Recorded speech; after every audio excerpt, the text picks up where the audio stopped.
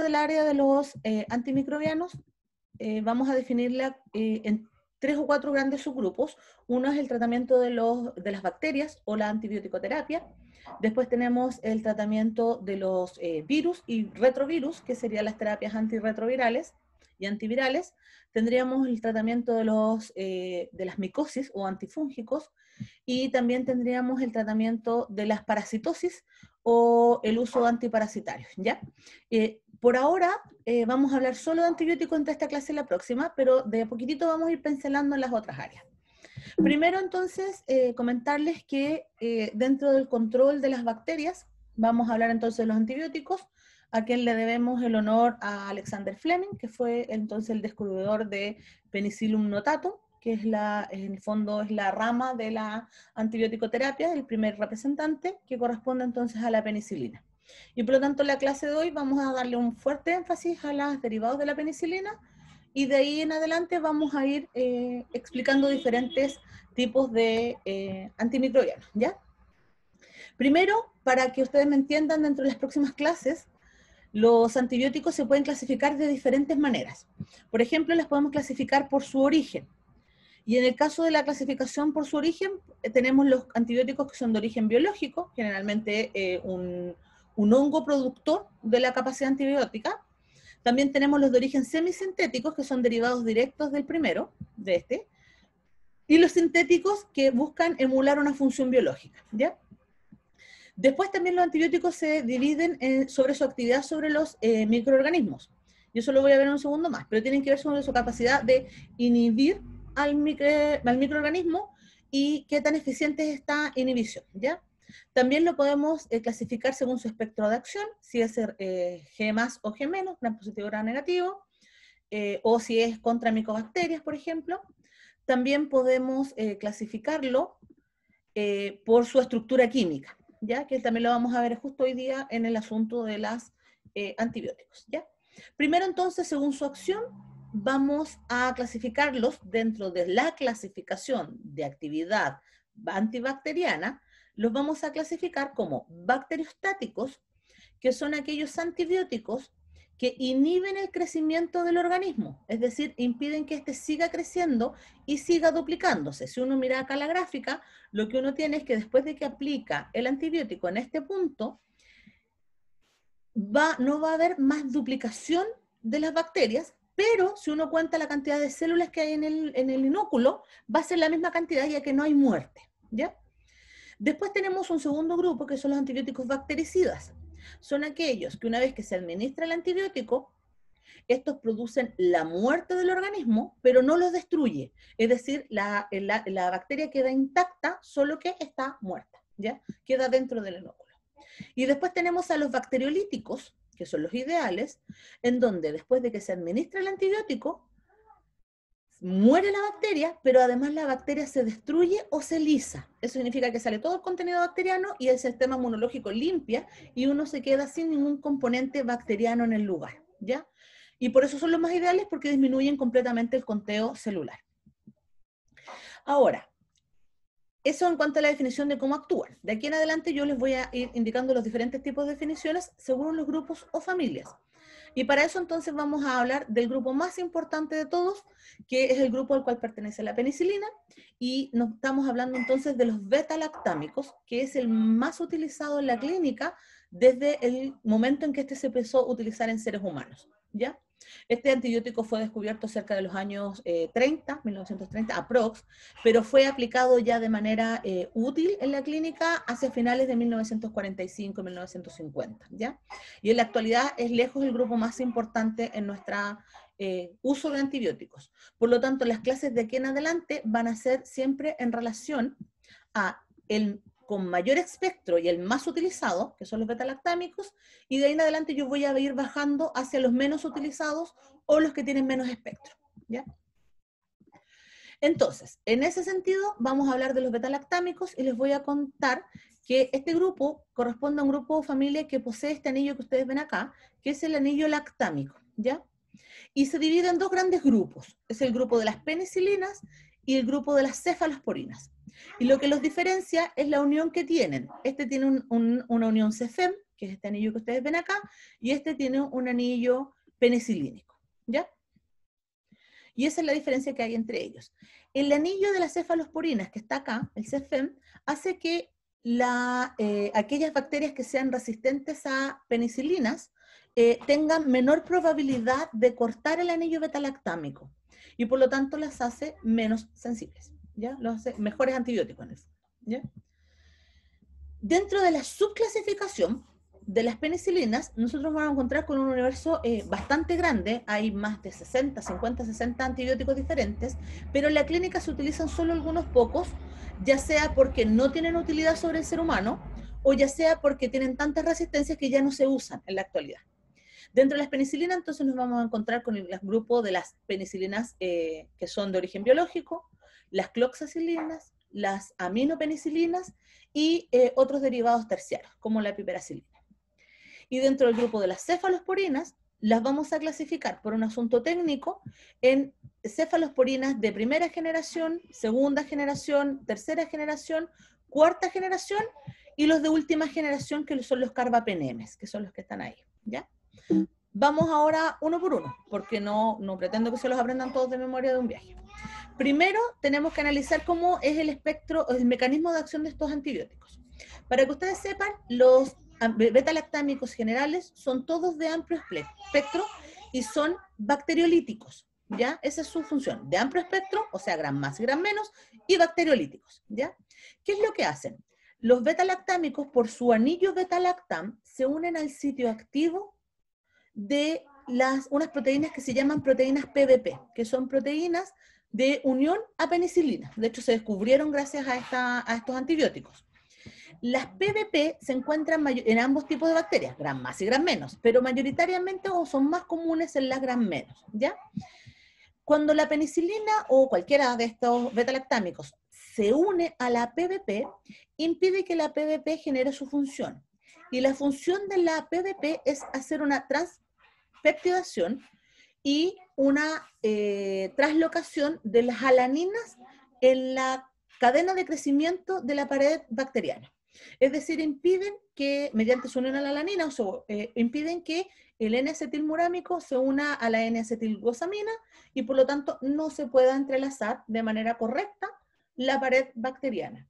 Si la pared bacteriana no se puede entrelazar y no tiene esta fuerza, entonces empiezan a actuar enzimas autolíticas que van a terminar lesionando la pared celular bacteriana y van a producir un efecto osmótico. Y ese efecto osmótico va a producir entonces lisis celular. Y la lisis celular va a generar entonces que ocurra un efecto bactericida. Para que el efecto bactericida ocurra, debe acumularse una cierta cantidad del antibiótico. ¿Ya? Y es por esto que generalmente la, la actividad de acción de las beta-lactámicos se demora de dos a tres días en recién acumularse suficiente antibiótico para que esté la actividad antibacteriana. ¿Ya? ¿Qué es lo que hace la bacteria por contraparte? Las bacterias por contraparte tienen que defenderse de este agente externo, que es el beta-lactámico. Y para eso entonces lo que se llama, eh, ocurre lo que se llama resistencia a los beta-lactámicos. ¿Cuáles son los tipos de resistencia a los beta-lactámicos? El más común es la alteración directa de la PBP.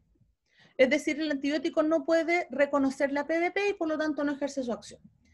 ¿Quiénes tienen esta alteración eh, directa de la PDP? Por ejemplo, algunos estafilococos, otros enterococos, eh, algunas enterobacterias, ¿ya? Y también tenemos la aparición de las penicilasas, penicilinasas, perdón, que lo que hacen es escindir o cortar el anillo beta-lactámico, haciendo que el antibiótico sea inútil en su función. Para suplementar eso, vamos a ver después inhibidores de las penicilinasas, ¿ya? Hay otras funciones, otras acciones que también generan resistencia, pero no es la idea de esta clase explicarlas una por una. Vamos ahora entonces con las penicilinas, teniendo ese concepto. Vamos con las más comunes o las más utilizadas en la clínica, que es la penicilina. La penicilina existe en este momento en el mercado, una penicilina tipo B de uso oral, que también se vende en polvos, o una penicilina tipo G, que es lejos la que más van a utilizar ustedes, que es la de uso parenteral y la que se administra, se puede administrar por vía intravenosa o intramuscular. Pero ojo, y aquí es importante, por vía intravenosa es una solución cristalina o acuosa y que tiene una vida media de no más de 0,8 horas. Por lo tanto, no es la penicilina de uso habitual en la clínica en urgencias, ¿ya? Al menos que realmente se requiera una alta concentración de penicilina en sangre. La más común es la penicilina intramuscular, que es la penicilina G unida a procaína o benzatina, que de hecho aquí en Chile se utiliza mucho la proteína, eh, la penicilina con benzatina, ¿ya? La, la, penicilina con benzatina, cuando ha sido administrada, debido a que se va liberando de manera suave a nivel intramuscular, genera entonces que haya siempre un buen título sanguíneo de penicilina y tiene una vida media de aproximadamente 21 días. Entonces, como medicamento es ideal porque se mantiene el título en sangre y porque además me da una buena temporalidad para mantener la actividad antibacteriana. O sea, no necesito más inyecciones, ¿ya? ¿Qué es lo importante de saber de la penicilina G intramuscular, o sea, penicilina benzatina? Es que depende entonces de la capacidad de ser absorbida en el, en el tejido intramuscular. Y por lo tanto, para eso es necesario que aumente el flujo sanguíneo en el tejido intramuscular post-inyección. Generalmente ocurre, no sé si alguno ha sufrido de la inyección de, una de estas penicilinas, pero generalmente ocurre que es relativamente dolorosa porque es un cristal y como es relativamente doloroso, la gente tiende a mover menos ese grupo muscular. Si lo mueven menos, se dematiza más, no pasa de manera adecuada el antibiótico, dura más la enfermedad y le duele más todavía al paciente. Entonces, ¿qué es lo que uno tiene que recomendar? Aunque sea incómodo, siempre que mejore la musculatura, o sea, que el paciente después de que se inyecte vaya a caminar y mueva este grupo muscular más grande, ¿ya? Cosas que ustedes tienen que saber de la penicilina, que la penicilina, en general todos los betalactámicos, pero en particular la penicilina, se degrada eh, mediante hidrólisis hepática produciendo ácido penicilinoico, que tiene, es inactivo a nivel del sistema eh, del fluido sanguíneo, pero es eh, altamente alergénico. Y de hecho, las personas que presentan alergia a las penicilinas están relacionados directamente con la sensibilidad al ácido penicilinoico. Y otra cosa que ustedes también tienen que saber es que en personas que no tienen alterada la eh, barrera hematoencefálica, la penetrancia de las penicilinas a nivel del sistema nervioso central es extremadamente baja. Y por lo tanto, las penicilinas no tienen función a nivel del sistema nervioso central, al menos que el paciente tenga alteración de la permeabilidad de la barrera. Y en ese caso, la penetrancia puede llegar hasta aproximadamente entre un 15 o un 20%. Tampoco es muy alta. Ojo, y algo importante, las penicilinas no se pueden inyectar a nivel intratecal, ¿ya? Así que uno tiene que jugar un poco con la penetrancia y la eh, capacidad de las membranas de poder absorber este antibiótico a nivel del sistema nervioso central. Y otra cosa, otro dato importante es que la OMS considera que la penicilina G, benzatina o procaína son el tratamiento estándar para la sífilis y para la fiebre reumática. ¿Cuáles son las espectroactividades de estas penicilinas? Tienen acción sobre meningitis, gonorrea, piógenes, que es el clásico de las infecciones a nivel de la piel, garganta, tracto respiratorio superior e inferior, aureos, ¿ya? Y también sobre otros agentes como treponema pálido, para que ustedes sepan que no es solamente entonces como antibacteriano. Ya les había explicado entonces esto de la penetrancia, que podíamos llegar entonces solo a un ideal de 30%, cuando había entonces inflamación a nivel del sistema nervioso central. Si no, no se obtenía la actividad. ¿Dónde se va a utilizar? Mayoritariamente, aquí en Chile se autoriza en la eh, faringitis, amigdalitis, cuando hay algún compromiso em, relacionado a eh, algún tipo de bronquitis o, mm, neumonitis, y también en infecciones de la piel, siempre cuando los agentes sean eh, sensibles a la penicilina. Si no, no se va a preferir su uso debido a que tienen muchas resistencias. ¿Ya? Otra cosa importante de mencionar de, la, de todos los betalactámicos, pero en particular de la penicilina, es que eh, este grupo produce, es el productor de la mayor cantidad de alergias dentro de los grupos de antibióticos, ¿ya? No es que todos los pacientes hagan alergia, ni siquiera es que el porcentaje sea tan alto, ¿ya? Para que ustedes se hagan una idea, aproximadamente entre el 5 y el 8% de la población que ha eh, utilizado alguna vez un beta-lactámico ha presentado algún tipo de molestia inmunológica. Y de ese 5%, entre el 0,1 y el 10% ha generado positividad inmunológica, es decir, que produce una alergia como tal, monta una alergia. Y de este 10%, del 5% anterior, genera choque anafiláctico. O sea, solo es un porcentaje muy inferior de la, de la, población que puede generar entonces choque anafiláctico por la penicilina. El problema está que el choque anafiláctico, generado es extremadamente grave. Y es por eso que se debe considerar la alergia a las penicilinas como una situación bien particular a la hora de administrar, ¿ya? También recordar que para que un paciente sea alérgico a la penicilina tiene que haber sufrido primero una eh, estimulación del sistema inmune por algún tipo de beta-lactámico. ¿Qué otros tipos de efectos adversos existen en el uso de las penicilinas? En general son súper bien tolerados, son categoría BC en el embarazo y por lo tanto se pueden administrar en el embarazo, pero se puede, algunas pacientes reportan algunos trastornos gastrointestinales, mayoritariamente relacionados con la eliminación o la lisis de eh, la flora bacteriana del sistema gastrointestinal y la eliminación de esta flora puede generar unas diarreas por infección de otros agentes nuevos colonizantes. En algunos pacientes se ha visto que aumentan las transaminasas, pero no es grave. Y menos frecuente todavía es que aparezcan trastornos hematológicos. ¿ya? Cuando los pacientes tienen meningitis y tienen mayor penetrancia a nivel del sistema nervioso central, puede aparecer en encefalopatía relacionada con convulsiones por acumulación de los beta-lactámicos a nivel del tracto, del sistema nervioso central. ¿Ya? Después, por grupo, tenemos al siguiente grupo. Chicos, recuerden, pregunten si tienen dudas, ¿ya?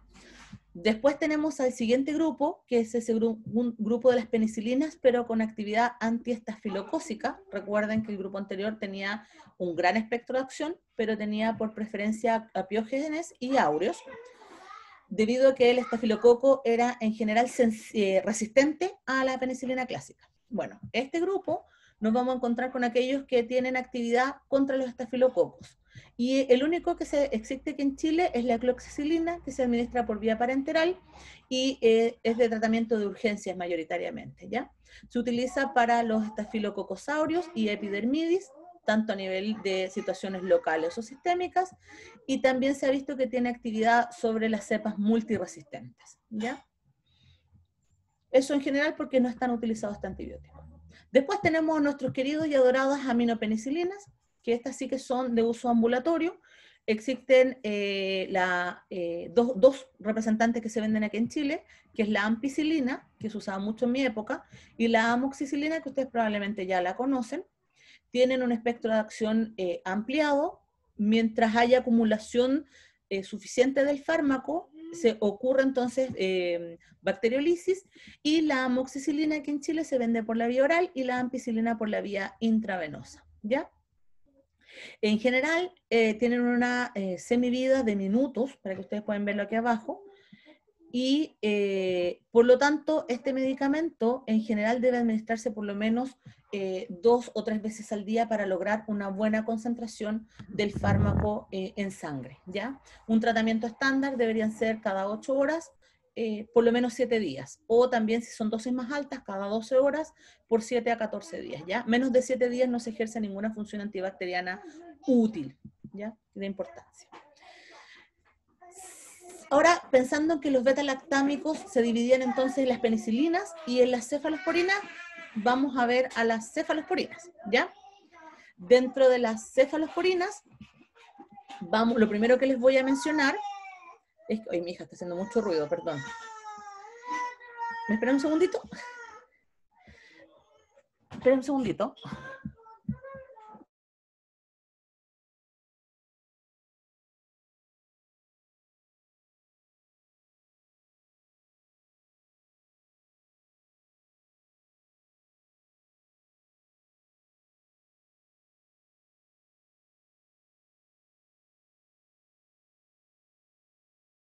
Ya, disculpen, es que de verdad que estaba haciendo demasiado ruido. Profe, no se preocupe, se escuchaba muy bajito. Ah, ya, pero igual, yo la escuchaba, perdón. Pero ya. No se preocupe. Bueno, seguimos entonces, ya chicos. Muchas gracias por la comprensión, pero cosas de mamá, pues, cosas que pasan. Ya estimados, sigo con las cefalosporinas. Ya, entonces lo primero era lo que les había mencionado, que las cefalosporinas tenían este anillo que rodeaba el beta-lactámico, lo que le daba una mayor estabilidad al anillo beta-lactámico, haciéndolos ligeramente más resistentes a los inhibidores de la, o sea, perdón, a las beta-lactamasas, a las enzimas que rompían el anillo lactámico. Por lo tanto, tienen mayores resistencias. Lo otro es que al tener anillo beta-lactámico, y a mucha gente se le olvida esto, tienen sensibilidad cruzada. Eso significa que si un paciente tiene alergia a los beta-lactámicos, también va a tener alergia probablemente a las cefalosporinas, ¿ya? Y esta es una alergia que es cruzada aproximadamente en un 10%. Pero además, la presencia de ambos anillos genera que existe un segundo tipo de alergia, que es una alergia a las cefalosporinas, que no es a la penicilina, sino que es directamente a la cefalosporina, ¿ya? Si ahora nos vamos a la clasificación de las cefalosporinas, lo que les mencionaba yo es que se dividían de primera a quinta generación, donde las más utilizadas en la actualidad en la clínica son de la primera a la tercera, y la tercera es la bingo, es la que más se utiliza, o sea, la que ustedes tienen que manejar sí o sí, porque es la de más uso en la actualidad, ¿ya? Estas se dividen en fármacos que tienen acción parenteral y uso oral, ¿ya? Para que ustedes sepan que existen en ambas situaciones, excepto en la cuarta generación, donde aquí en Chile solo tenemos a Cefepime, que está en versión parenteral.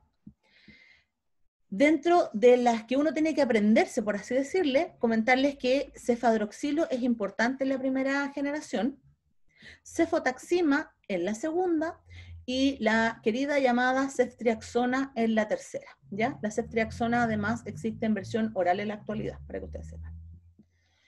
Entonces, vamos con la primera eh, grupo de acción de las cefalosporinas.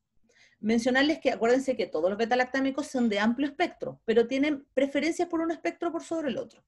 Los de primera generación tienen mayor preferencia o tienen mayor actividad gram positivo y tienen una actividad limitada gram negativo, ¿ya?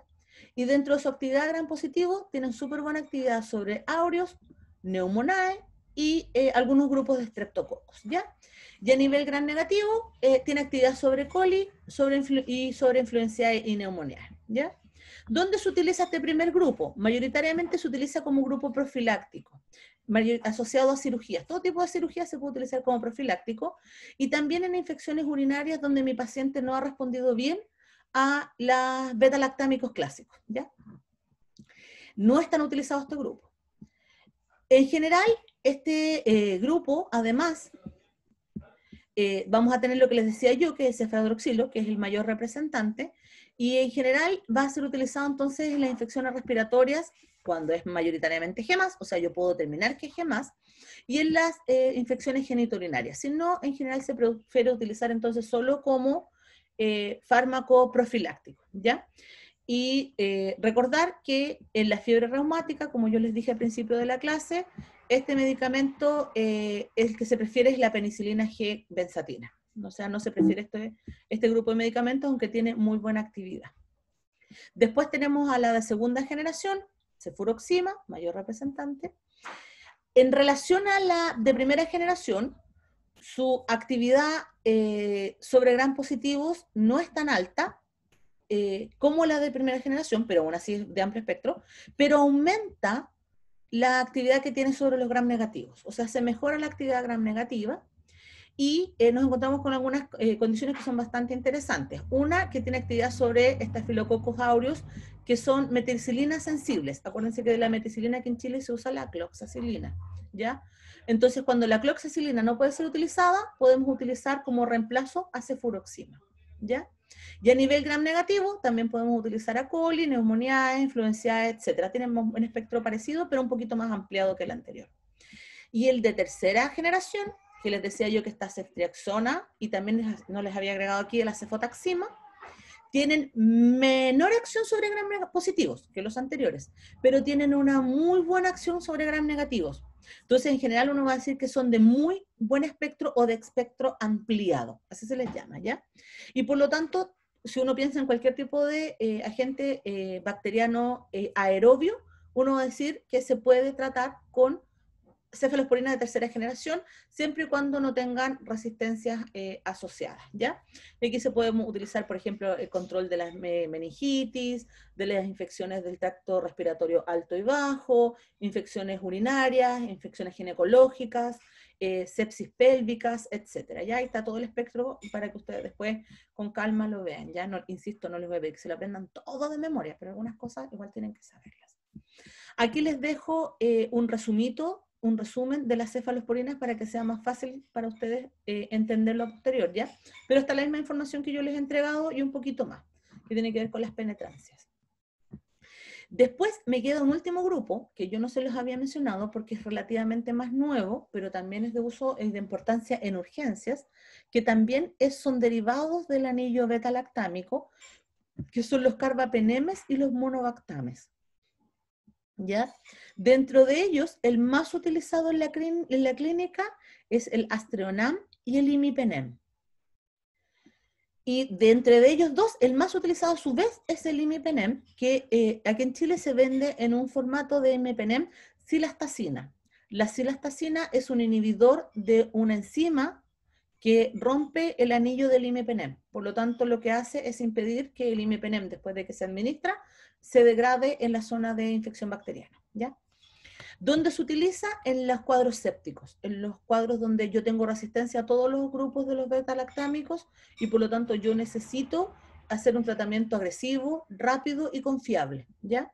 Por lo tanto, se van a utilizar en neumonías, en situaciones bronquiales con alta infección, en la fibrosis quística, por ejemplo, en la sepsis, en las meningitis, eh, en las infecciones asociadas a cuadros biliares eh, o a cuadros eh, gastro, gastrourinarios, pero, o sea, perdón, gastro hepáticos, pero graves, ¿ya?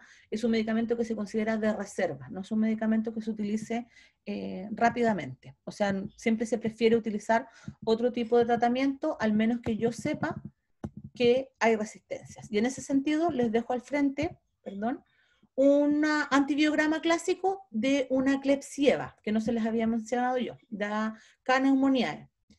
Y si ustedes lo ven al frente, se muestra los tipos de resistencias que tienen sobre nuestro grupo de beta-lactámicos y además si presentan o no la aparición de, eh, resistencias perdón, asociadas a los beta-lactámicos mediada por estas enzimas que rompen o hacen eh, cortes o escinden el grupo beta-lactámico, ¿ya? que son conocidas como BLE. Ustedes probablemente ya lo vieron en eh, microbiología. En particular, eh, aquellas beta-lactamasas, o sea, del grupo de las BLE, eh, se han definido al menos eh, cinco subgrupos y uno esperaría que todas las beta-lactamasas tuvieran solo actividad sobre la penicilina, o sea, que inhibieran la actividad de la penicilina, pero si uno ve nuestra tablita que les puse acá abajo, hay beta-lactamasas que inhiben inclusive el imipenem, ¿ya? O que inhiben a las eh, cefalosporinas. Se las dejo aquí para que ustedes la vean. Y eso pasa porque en medida que nosotros vamos utilizando de manera más irracional eh, estos antibióticos, se va generando entonces la aparición de estas sensibilidades eh, enzimáticas que van inhibiendo la función del antibiótico que yo busco. ¿ya? Y pronto se, la OMS ha dicho que las cefalosporinas van a dejar de tener este tan buen espectro de acción que, se, que uno espera debido a la aparición entonces de estos BLE. Si ustedes lo ven ahí al frente, ¿con qué tratamiento yo tendría que utilizar en mi paciente que tiene una neumonía? Alguien que me responda.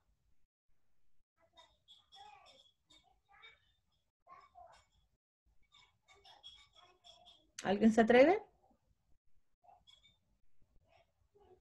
Tengo un paciente con una neumonía y uno le hace un análisis y me da que es K neumonía y yo tengo un antibiograma clásico y alguien aquí me dice que podría ser con ceftriaxona, ¿cierto?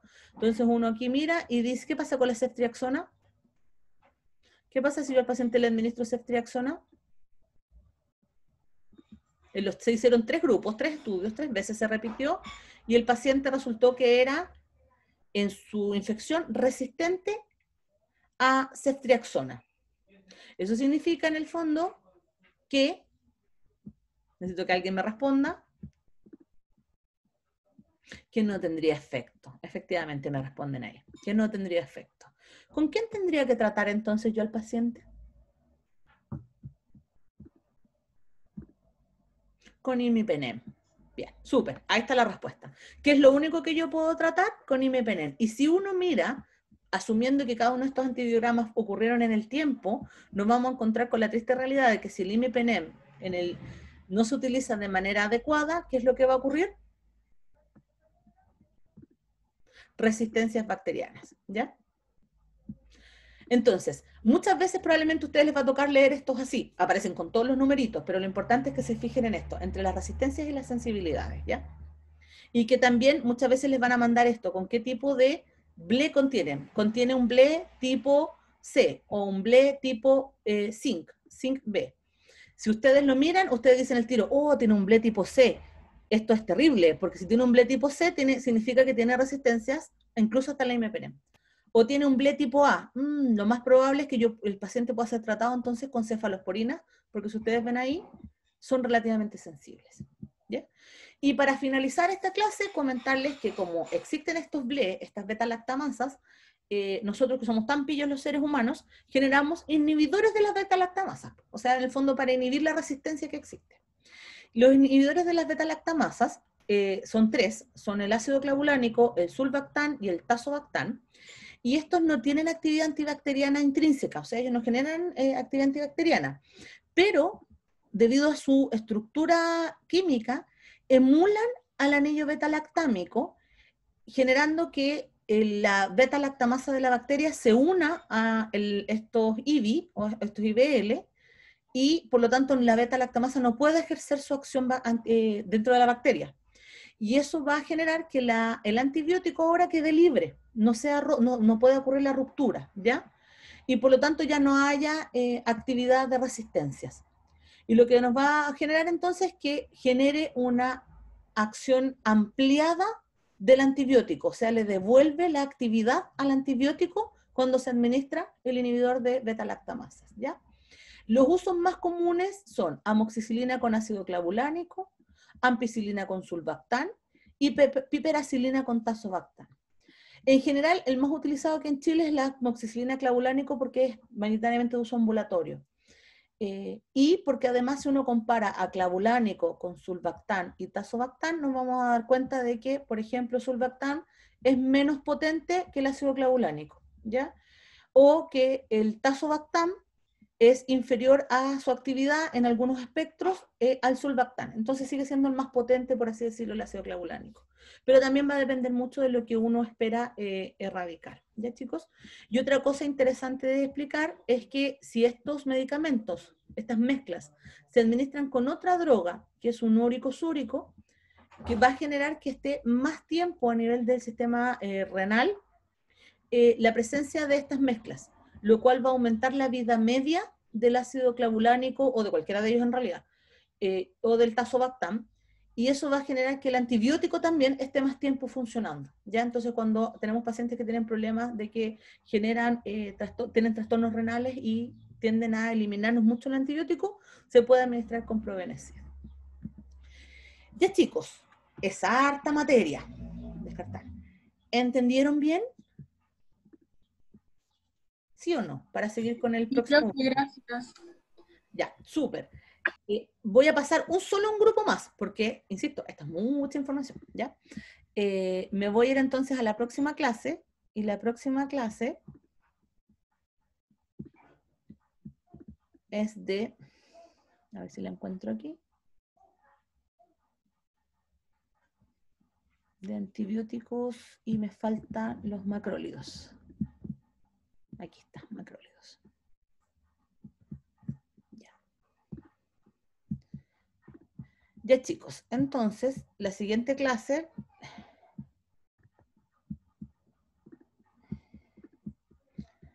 Vamos a compartir pantalla. La siguiente clase es sobre los macrólidos, ¿ya?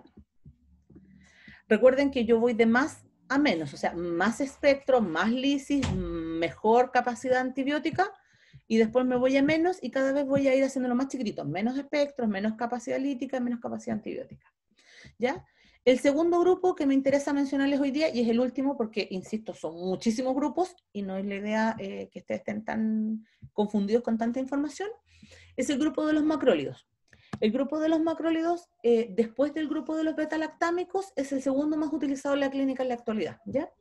Y de hecho, eh, para que ustedes se den cuenta, eh, dentro del grupo de los macrólidos está también un querido antibiótico que es muy utilizado, que es la acitromicina, ¿ya? O sea, este grupo pertenece, ¿ya? En general, aquí nosotros también vamos a encontrar antibióticos de origen natural, de origen sintético y semisintético, ¿ya? y, pero estos, estos antibióticos no son bacteriolíticos. ¿ya? Aquí ya tenemos el primer problema. Eh, este grupo de medicamentos, ustedes van a encontrar aquí a la eritromicina, a la claritromicina, a la acitromicina, a la espiramicina y a la roxitromicina. Son muchos más. Esos son los que más se utilizan en la clínica, ¿ya? Y los tres primeros son los más utilizados a su vez. ¿Cuáles son las ventajas del uso de los macrólidos? Recordar siempre que la primera son los betalactámicos, que no se los olvide nunca.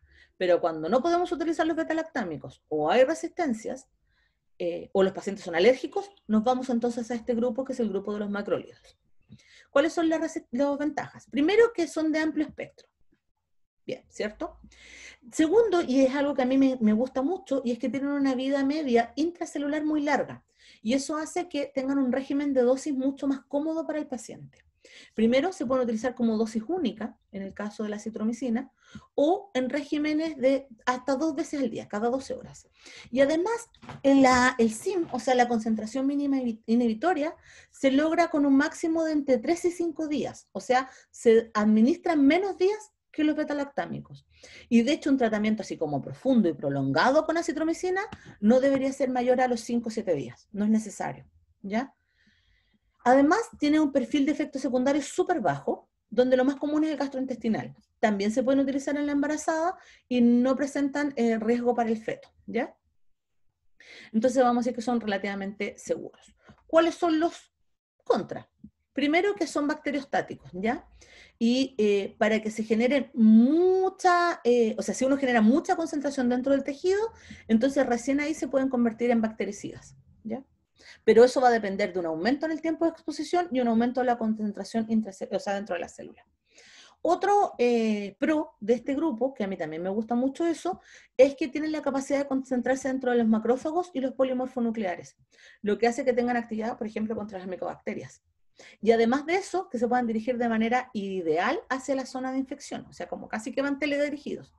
Y además se ha visto que el grupo de los eh, macrólidos disminuye la producción de moco a nivel eh, broncopulmonar, disminuye la infiltración de neutrófilos, ah, genera apoptosis de los linfocitos y además genera un aumento de la fagocitosis de los mismos macrófagos. Entonces tiende a ser a nivel de la vía respiratoria un aliado importante ya que hace que sea menos, haya menos inflamación a nivel respiratorio y haya mayor limpieza vía macrofágica. Así que les da ese toque como interesante a nivel de la ventilación. ¿Cuál es el mecanismo de acción de este grupo? Este grupo eh, actúa inhibiendo la síntesis de los microorganismos sensibles solamente, eh, y esto pasa porque se une el sitio P del ribosoma eh, bacteriano, particularmente la subunidad 50S. El sitio P es donde va creciendo la cadenita del, del polipéptido y por lo tanto impide que crezca la polipéptidos bacterianos de manera ideal, que se cortan las cadenas antes. Y eso genera que la bacteria no tenga nuevas proteínas y si no hay nuevas proteínas, eh, eh, impide el crecimiento bacteriano y la división, o sea, bacteriostático. Ahora, si se utilizan por mucho tiempo, la acumulación de estos intermediarios eh, aminocídicos va a generar finalmente la muerte celular, ¿ya? Y por eso se considera bactericida. ¿Cuál es el espectro de actividad de este grupo? Tiene buena actividad sobre piógenes, tiene eh, actividad sobre algunos gram negativos, pero se ha visto que, eso está mal escrito, se ha visto que hay muchas resistencias, eh, por lo tanto es algo que se debe evaluar. Y eh, otra cosa importante que, que, me da un plus es que tiene lo que les mencionaba yo, actividad sobre las bacterias de crecimiento intracelular, ¿ya? Lo otro es que eh, también tiene bajo, penetrabilidad a nivel del sistema nervioso central, se pasa muy poco el sistema el líquido cefalorraquídeo, pero se ha visto que para el uso de la toxoplasmosis, que esto no es bacteriano obviamente, eh, aparentemente alcanza una concentración ideal y por lo tanto sería un erradicador de la toxoplasmosis eh, a nivel del sistema nervioso central. ¿ya? Recordar además que la toxoplasmosis es extremadamente grave en la embarazada y que además este grupo de medicamentos es inocuo para la embarazada. Así que es como el tratamiento ideal para la toxoplasma, es el uso de este grupo. ¿ya? ¿Dónde se utiliza muchísimo? En las infecciones respiratorias generales, en las otitis medias, la faringitis y en general en las infecciones de partes blandas o infecciones genitales. ¿ya? ¿Cuáles son los más utilizados? Lo que les mencionaba yo, claritromicina, eritromicina y acitromicina. Si uno tuviera que le decir, bueno, pero ¿cuál es la diferencia entre uno y otro en el uso? Tiene que ver con las sensibilidades. Claritromicina se, prefiere para su uso en las micobacterias, ¿ya? Eh, por ejemplo, en Mycobacteria aureum. Y además, eh, a nivel mundial, por OMS, pero también ratificado aquí en Chile, la claritromicina es el antibiótico de primera elección para la erradicación del Helicobacter pylori. Se utiliza una mezcla de claritromicina, amoxicilina para ampliar el espectro y además omeprazol para eh, mejorar obviamente la respuesta a nivel de gastrointestinal, pero eso lo vemos después en gastro. Y por lo tanto, en general, la claritromicina se reserva para ese tipo de actividades. La citromicina se utiliza en general para todo lo que es vía respiratoria, es el más utilizado. Como les decía yo, tiene un buen espectro, además es, es bien tolerado por los pacientes y se puede utilizar en dosis única diaria y por tres días generalmente. Y tiene actividad también sobre cólera, sobre Neisseria, etcétera, ¿ya? O sea, tiene una súper buena actividad. ¿Cuáles son las resistencias que presentan las bacterias a estos macrólidos? Primero, las enterobacterias tienen resistencia intrínseca, o sea, no podemos eh, utilizar un macrólido para tratar una enterobacteria. En general, se puede en algunos casos, pero en general no se utilizan.